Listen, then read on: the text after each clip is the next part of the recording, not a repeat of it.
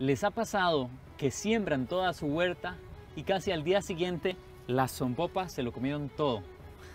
Ya sé que les van a dar ganas de eliminarlas, pero ellas cumplen una gran función y hoy vamos a aprender cómo vivir de forma armoniosa con ellas y los cultivos.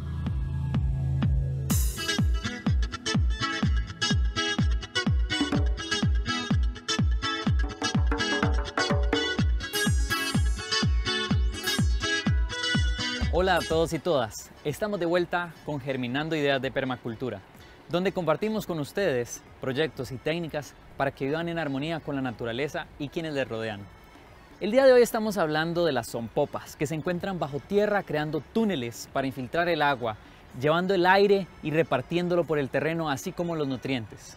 Las zompopas son muy importantes y más que eliminarlas, les vamos a enseñar hoy cómo limitar su acceso a la huerta o a las plantas y cultivos que queremos cuidar. Vamos a estar viendo entonces dos soluciones, unas para pequeña escala y otras para mayor escala. En pequeña escala me refiero tal vez a una maceta, a una planta especial en la huerta. Para esto vamos a buscar extracto de menta, árbol de té o neem. Pueden ser incluso las tres y vamos a mezclar una gotita de cada uno de estos en medio litro de agua. Esto con una botella de spray vamos a ponérselo a toda la planta, arriba y abajo de las hojas y en todo el tallo. Incluso puede ser un poquito alrededor. ¿Por qué les digo que no serviría para mayores escalas? Es porque gastarían mucha plata comprando estas esencias para una finca o incluso para una huerta mediana. Lo que pasa es que si ustedes usan mucho esto o, o lo usan de forma discontinua, ellas pueden acostumbrarse y aprender que ese olor en realidad es artificial, digamos que no es el de la planta naturalmente y van a empezar a comerse la planta aunque le pongan este repelente. Por eso les digo que es para usos muy puntuales y no es para usar en toda la huerta. Ahora, cuando hablamos a mayor escala, vamos a estar utilizando tres hongos, tricoderma, bauberia y metarricium. Estos hongos se pueden conseguir en algunos viveros. Yo sé que la marca Bioeco los tiene, que Laboratorios Biomaca los tiene. Y estos los vamos a aplicar cada dos semanas, más o menos, en todos los caminos, áreas afectadas y en el hormiguero.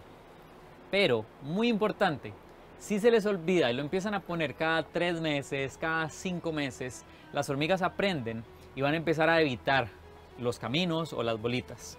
Por eso cada dos semanas los vamos aplicando y eso va a hacer que ellas se vayan retirando, cada vez alejándose más del área que ustedes quieren proteger. Y recuerden, si las vuelven a encontrar, de nuevo, cada dos semanas, porque en el momento que se descuiden, ellos van a volver.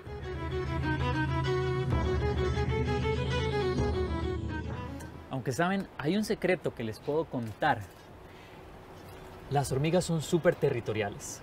Entonces, si ustedes saben dónde hay otro hormiguero lejos del de ustedes, Pueden coger la tierra sin las hormigas, solo la tierra de otro hormiguero que esté lejos y se lo traen a su huerta, lo ponen alrededor y las hormigas suyas cuando se acerquen a esa tierra van a oler como otras hormonas, otro olor y van a pensar que es terreno de, otra gente y se van a ir, se van a devolver, no van a entrar.